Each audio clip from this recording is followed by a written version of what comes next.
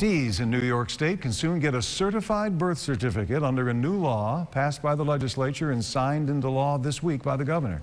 It'll take effect on January 15th. Now, under the current law, adoptees must go before a judge to request access to their birth certificate, and they don't always get it.